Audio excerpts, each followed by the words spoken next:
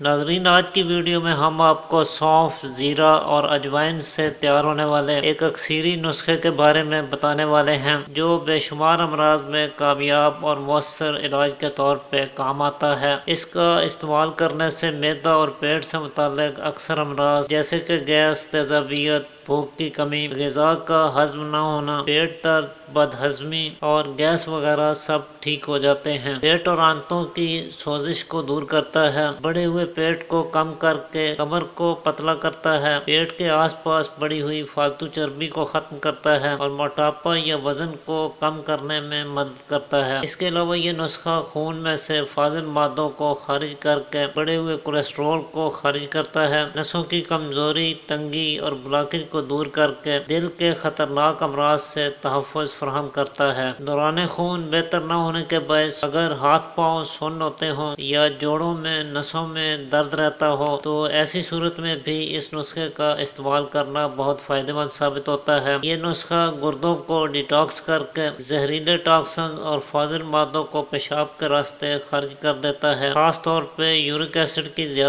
को कंट्रोल करने के लिए और इससे पैदा होने वाले छोटे जोड़ों के दर्दों से छुटकारा पाने में मुआवन और मददगार मददगार साबित होता है, जबकि खांसी के अक्सर मरीज़ इसका इस्तेमाल करने से ठीक हो जाते हैं। तो ये इस नुस्खे के कुछ खास खास फवायद हैं। चलिए अब इस नुस्खे को तैयार करने और तरकीब इस्तेमाल के बारे में जान लेते हैं। लेकिन उससे पहले जल्दी से वीडियो को लाइक कर दीजिए, क्योंकि आपके एक लाइक से, आपके प्यार से हमारी हौसला अफजाई होती है। और अगर अभी तक आपने हमारे चैनल को सब्सक्राइब नहीं किया तो जल्दी से सब्सक्राइब करके बेल के बटन को भी ज़रूर प्रेस कर दीजिए ताकि हमारी हर नई आने वाली वीडियो सबसे पहले आप तक पहुँच सके। नाजरीन, इसके लिए आपने सफ़ेद ज़ीरा, देसी अजवाइन और अच्छी खुशबूदार किस्म की सौंफ तीनों बराबर वज़न में लेकर अच्छी तरह से साफ़ कर लेनी है और फिर इन्हें हल्की आँच पर हल्का हल्का भून लेना है। इसके बाद चूल्हे से उतार कर इसे पीस कर रख लीजिए। इसमें से आधा चम्मच सुबह शाम खाने के बाद ताज़ा पानी से इस्तेमाल करें। मोटापा या वज़न कम करने के लिए आप इसे रात